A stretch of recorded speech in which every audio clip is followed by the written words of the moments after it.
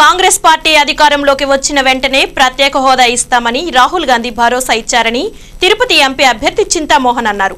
ఏడు జాతీయ రహదారులను తిరుపతి నుండి ఏర్పాటు చేసిన ఘనత తమదేనన్నారు. తిరుపతి కాంగ్రెస్ ఎంపీ అభ్యర్థి డాక్టర్ చింతామోహన్ చివరి రోజు ఎన్నికల ప్రచారాన్ని ముమ్మరంగా నిర్వహించారు. ఈ సందర్భంగా ఆయన మాట్లాడుతూ దుగ్గరాజు పట్టణం ఓడరేవును అభివృద్ధి చేస్తామని చెప్పారు.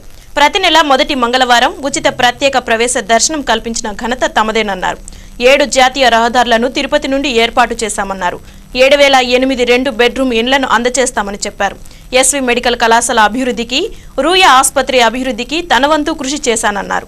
తిరుపతి రైల్వే స్టేషన్ అభివృద్ధి తనే హయాంలో జరిగింది తప్ప ఆ తర్వాత జరగలేదన్నారు. అరవై రైళ్ళు సౌకర్యం వివిధ ప్రాంతాల నుండి మన తిరుపతికి ఏర్పాటు చేశానని పేర్కొన్నారు. నాయుడుపేట తిరుపతి జాతీయ రహదారిని నాలుగు లైన్ల నిర్మాణం చేయనున్నామని చెప్పారు. ప్రతి పేదవాడికి నెలకు ఆరు వేల రూపాయలు ఉచితంగా ఇస్తామని రెండు లక్షల రైతు రుణమాఫీతో పాటు రెండు లక్షల రూపాయలు మహిళా రుణమాఫీలు చేస్తామన్నారు. నాలుగు సిలిండర్లు ఉచితంగా మహిళలకు ఇస్తామని అలాగే ప్రత్యేక హోదా ఇస్తామన్నారు. నేను చేస్తాను తప్పనిసరిగా. ప్రతి పేదవాడికి మేలు చేస్తానని రాహుల్ గాంధీ చెప్తున్నాడు. రైతుకు సహాయం చేస్తానంటున్నాడు. మహిళలకు సహాయం చేస్తానంటున్నాడు. ఇటువంటి రాజీవ్ రాహుల్ గాంధీ ఒక మంచి కుటుంబంలో నుంచి వచ్చినటువంటి వాడు.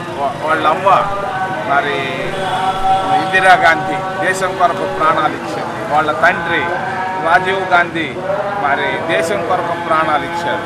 ఈ పరిస్థితుల్లో ఆ కుటుంబంలో వచ్చినటువంటి రాహుల్ గాంధీ చెప్పిన మాట తప్పకుండా మరి తప్పనిసరిగా మనకు ప్రత్యేక హోదాని ఇస్తాడు. ప్రతి ఇంటికి ఉద్యోగాన్ని ఇస్తాడు. ప్రతి రైతుకు మేలు చేస్తాడు.